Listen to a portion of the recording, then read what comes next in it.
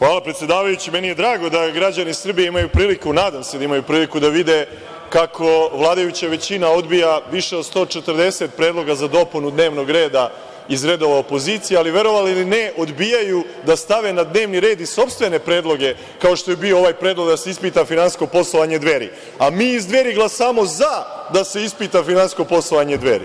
E, to je genijalna stvar i to govori O o svom tome predlogu o proširenju, gospodine Obradoviću. Šta kažete, gospodine predsedavajući? Vi ste novi predsedavajući, nisam primetio umeđu vremenu da ste zamenjeni.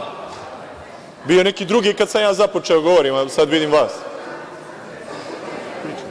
Rekao kolega Dakle- Obradović o svom predlogu za proširenje dnevnog reda. Predlažemo još jedan anketni odbor od najvećeg verovatno značaja i interesa građana Srbije, a to je funkcionisanje radio televizije Srbije kao TV bastilje Srpske napredne stranke i televizije, to jest javnog medijskog servisa koji plaćaju svi građani Srbije, a koji služi isključivo interesima vlasti.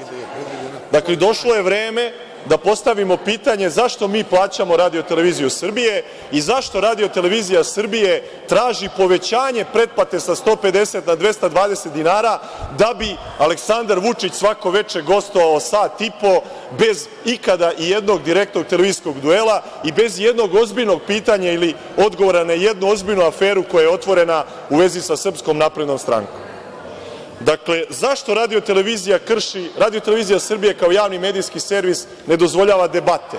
Zašto niko iz opozicije nema priliku da odgovori na ono što smo prozivani od strane aktuelne vlasti?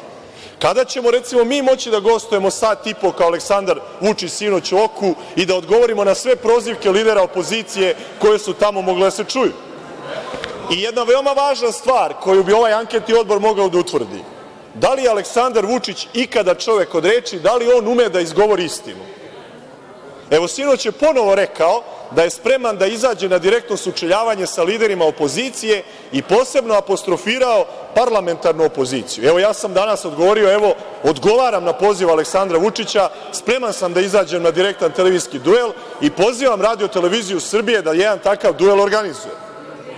Ili će ovo biti još jedno od hiljadu i po do sada zabeleženih lažnih obećanja Aleksandra Vučića za šest godina vlasti? Dakle, kako je moguće da Radio televizija Srbije, koju svi mi plaćamo, prenosi samo ono što govori vlast, a ne dozvoljava da se čuje glas opozicije, iako i građani koji podržavaju opoziciju plaćaju TV pretplatu?